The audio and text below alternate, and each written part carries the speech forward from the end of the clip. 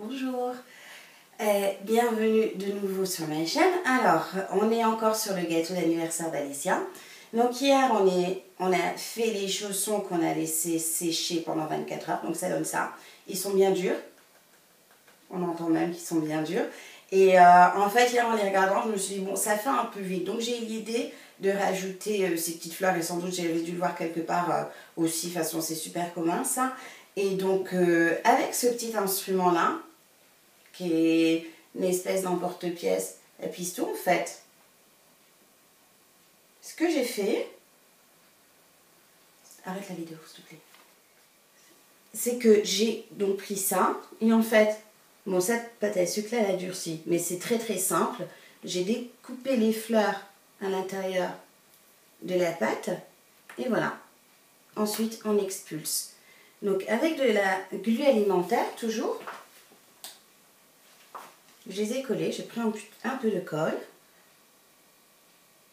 Donc si vous n'avez pas vu l'autre tutoriel, ce que je disais, c'est que si vous n'avez pas de colle, vous pouvez, tranquillement utiliser de l'eau, un tout petit peu. Hein.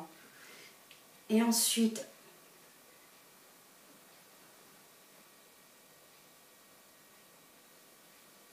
mettre de la colle. Voilà. Et en principe, ça tient assez bien. Donc le résultat est mignon. Donc l'idée c'était ça. Et ce qu'on va faire aujourd'hui en fait c'est faire nos tâches léopard. Alors on va faire le léopard. Donc pour le léopard j'ai pris un petit peu de jaune que j'ai acheté avec une petite goutte de marron. Ça reste quand même un, beau marron j'espère. Et du noir. Donc euh, ce sont les colorants alimentaires. Je vais vous mettre euh, les marques, la marque que j'ai utilisée juste en dessous en lien. Ce qu'il y a de bien avec euh, le léopard c'est que c'est pas précis. On fait des C, on fait des cercles t'acheter et, euh, et donc pour quelqu'un comme moi qui ne sait pas vraiment dessiner sur papier, c'est parfait, c'est l'idéal. Alors avec mon marron, je commence, je commence à faire des petits points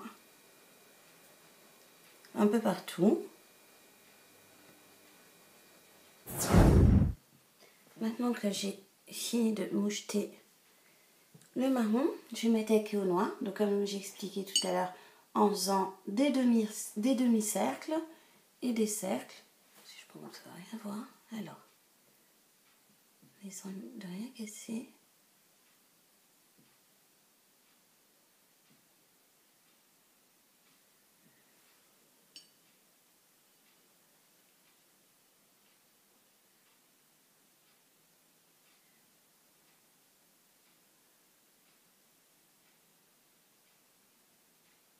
Léger. Hein. Comme je disais, faut pas que c'est pas, il n'est pas nécessaire que ce soit précis.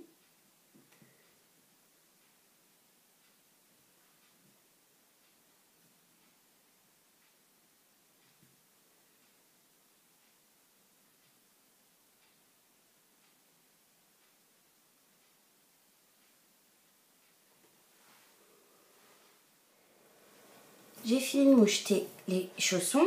Donc je vais rajouter un petit point de lumière avec une poudre dorée. Donc moi dans ce cas-là, je vais mélanger avec une goutte de vodka. Moi j'ai de la vodka à la maison, mais je ne la bois pas, promis. Et donc juste un petit peu. L'alcool va s'évaporer. Donc en fait, là les chaussons, on va pas les manger puisqu'on risque de se casser une dent.